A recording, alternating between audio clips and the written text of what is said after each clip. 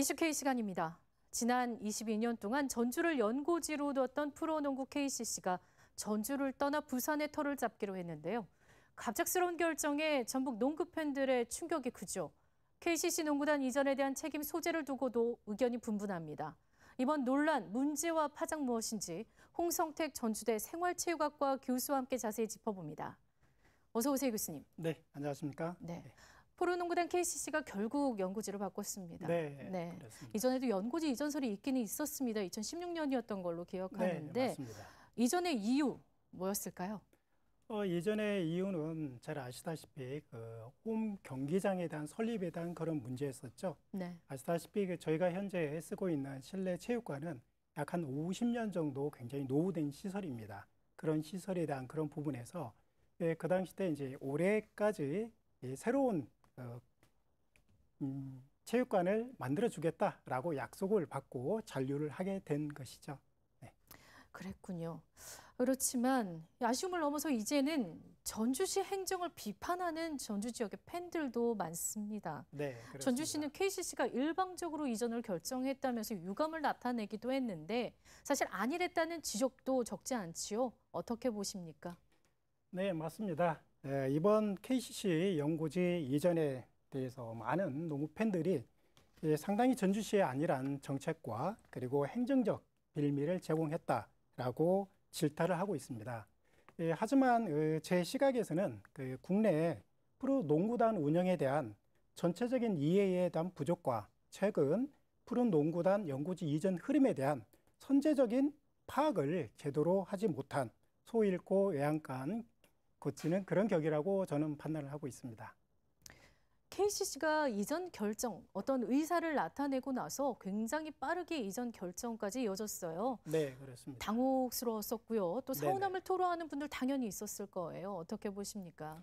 네, 그렇습니다. 굉장히 빠르게 진행이 된 게 사실인 것 같습니다. 어, 이번 어, 연고지 이전설이 나오자마자 갑작스럽게 재빠르게 이른바 일사천리로 전주에서 부산으로 이전한 그 결정은 분명 22년 동안 KCC 프로 농구단과 함께했던 저희 홈팬 그리고 전주 도민들에 대한 예, 도의를 저버리는 행위라고 볼 수 있겠습니다.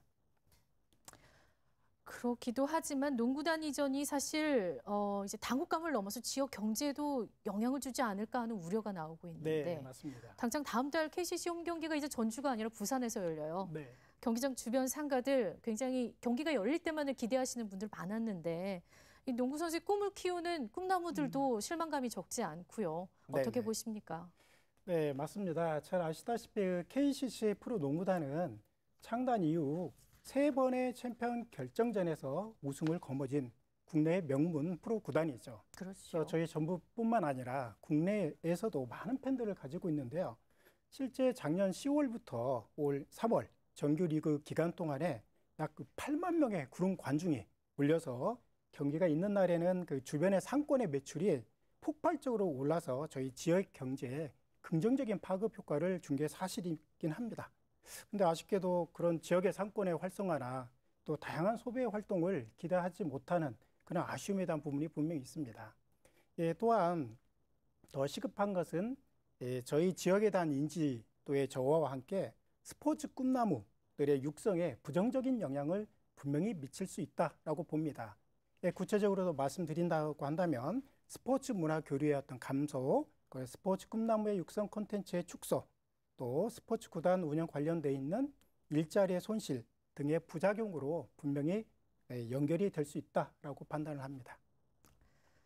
이제는 전북의 프로축구단만 남게 됐습니다.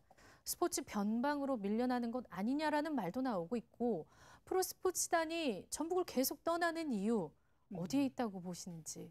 네, 그 저는 프로 스포츠 구단이 저희 지역을 왜 떠나가는가라고 하는 그 이유와 함께 프로 스포츠 구단이 저희 전북 지역으로 왜 오지 않는가라고 하는 측면도 함께 고민을 해봐야 된다고 생각을 합니다. 제 생각으로는 모든 국내 프로 스포츠 구단은 연구 지역의 브랜드 가치 및 이미지와 경제적 이윤 창출을 위한 지역 경쟁력이 높은 곳을 선호하고 또 그것을 거점으로 그모 기업의 대대적인 홍보 마케팅과 광고 효과를 얻고자 하는 것이죠. 하지만 현실적으로 스포츠 운영 구단은 순 수익보다는 적자 산업으로 사실은 운영되고 있습니다. 상당히 어렵죠. 그렇기 때문에 모 기업은 산업 구조상 재정 독립이 불가능하고 그렇게 일정 부분 보조금 지원이 없으면 살아남기 어려운 운영 구조입니다. 예, 모 기업이 어려우면 당연히 연구를 옮길 수도 있다고 보여집니다. 예, 우리보다 경제적 시장 규모가 훨씬 큰 예, 부울경 이전으로 어, 한다. 그 자체가 사실은 새로운 그 모 기업의 수익 모델 창출을 꾀하는데 모 기업으로서는 굉장히 이득이 있다라고 생각하는데 바로 그 큰 이유가 있는 거죠. 프로구단이 떠나거나 이전하는 이유가 도세와 이런 것도 네. 연관이 없을 수가 없군요. 그렇습니다. 지역의 경쟁력이죠. 네. 네네. 이 스포츠 변방으로 밀려난 전라북도 도민들의 자존감 살리고요. 네네. 또 스포츠를 제대로 향유할 수 있는 권리, 도민들이 다시 되찾을 수 있는 방안 이제 적극적으로 더 고민을 해봐야 할 것 같은데 네. 어떤 대안이 있을까요?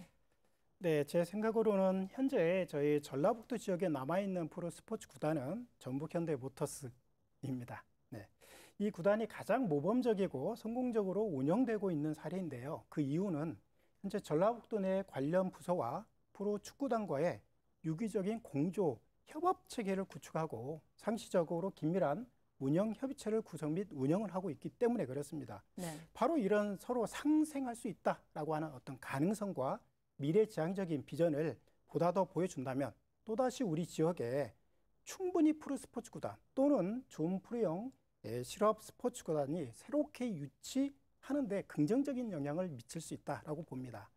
예, 마지막으로 좀 아울러 현재 진행 중인 전주시 장동 지역의 스포츠 복합 타운 참 잘 활용을 해야 될 것 같습니다. 네. 예, 그로 인해서 전북 도민들의 예, 스포츠 참여 권리와 또 지역 체육 기반을 높일 수 있는 장기적인 마스터 플랜 그리고 구체적인 로드맵을 마련해 줘야 되지 않을까라는 생각을 합니다. 알겠습니다. 민관이 함께 더 깊게 고민해 봐야겠습니다. 네, 오늘 그렇습니다. 시간 내주셔서 감사했습니다. 여기까지 네네. 듣겠습니다. 네, 감사합니다. 감사합니다.